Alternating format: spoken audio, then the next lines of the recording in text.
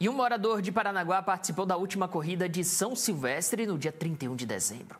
Além de completar a prova, ele também carregou uma bandeira com o nome de Paranaguá.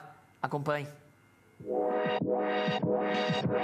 Seu Mauro ostenta no peito todas as medalhas conquistadas em anos de provas de corrida. Na parede, ele mostra as placas com as numerações e na prateleira os troféus. Há mais de 10 anos, ele optou por uma vida mais leve e saudável e começou a correr atrás dos sonhos, literalmente. E o que motiva são sabedoria, né? Hábitos saudáveis para prolongar a vida, ter uma vida saudável. Então, leitura, alimentação e corrida, atividade física são coisas que prolongam e melhoram a nossa vida. Em todos esses anos foram muitas corridas, como a meia maratona de Curitiba, o circuito Sesc, entre tantas outras. Mas tem uma que o seu Mauro tem um carinho especial: a corrida de São Silvestre.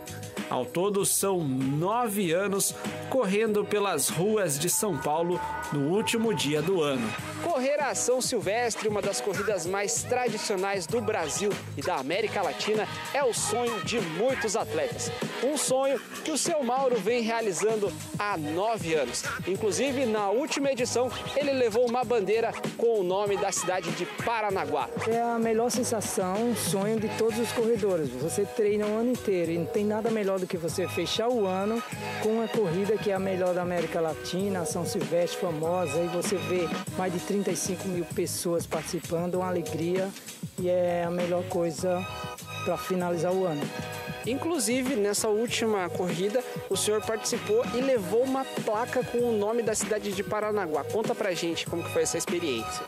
Pô, muito legal. Durante toda a corrida, o pessoal da torcida fica gritando o nome de Paranaguá, incentivando. Eu acho que foi o nome mais gritado assim por placa.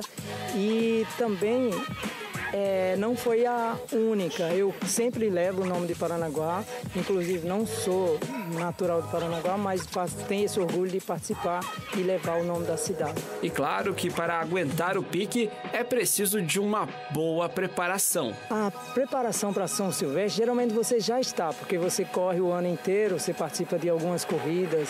Já participei da maratona do Sesc, da maratona de Curitiba, meia maratona de São Paulo, Guarapuava, Toledo e Curitiba, outras cidades. Então você vem se preparando e está preparado o ano inteiro. E em 2025 será a centésima edição da São Silvestre. E claro que o seu Mauro já está se preparando para participar também, sempre levando no peito o nome da cidade de Paranaguá. Falar em São Silvestre, a mais importante vai ser a centésima em 2025. É contagem regressiva e não tem limite para participar. O que for possível, eu irei participar e se puder levar mais gente em Paranaguá, será bom.